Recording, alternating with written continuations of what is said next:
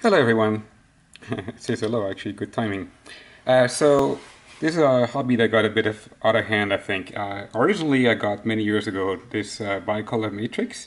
Um, you write to it by doing each uh, line at a time while putting the colors that you need on the rows and then you scan very quickly. Um, and you can actually see on this tricolor one uh, how it works. This is one line at a time you can see and in each color. So actually you have to do 24 scans to get an entire frame. And it's being done quicker and quicker so you can see over time what it looks like. So for that I wrote a few display demos using the Adafruit GFX library. And basically the code I wrote was to write a driver for those and plug into the excellent, I really mean excellent, Adafruit GFX library that allows you to do uh, circles, squares, lines, and I added um, multicolored uh, Pixmap support uh, to this. So those is, are single color, uh, and you just select which color you want, but then I want to have multicolored Pixmaps, and that's what I added. Um, so those are the basically scanning old way of doing it. And it was a lot of fun with double quotes in the air to write the drivers for that. Okay, so those are tricolor matrices again. Okay, so now can we do better? Well, yes, we can. Uh, with pixels, it's a lot easier to just uh, have one color per pixel. There's no more scanning rows and columns. You just say this pixel is that color.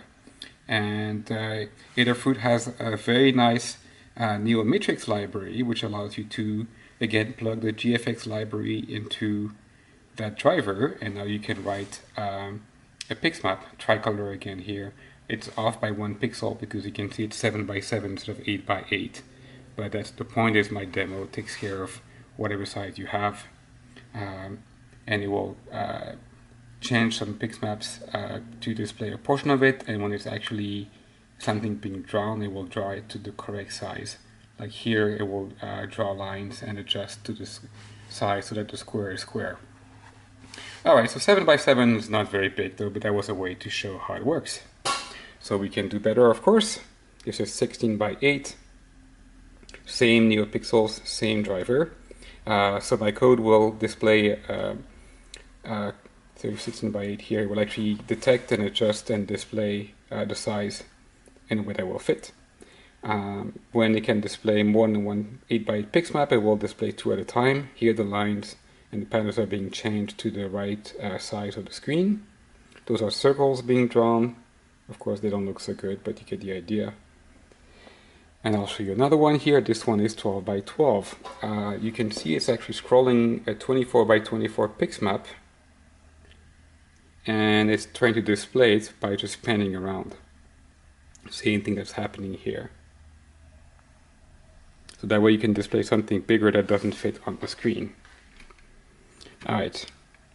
But can we do better? Well, since I had written all that code, I found this in my drawers, which I bought ages ago. It's a RGB panel uh, that I got from Adafruit. This one is 32 by 16. Um, and it works like my old uh, matrices where you actually have to do row scanning. And the code is very complicated actually. It's uh, very time critical. And the way they get colors is just like my code. Um, instead of RGB, of course, have three colors, but if you want multiple uh, mixes of those, you want more or less of those RGB.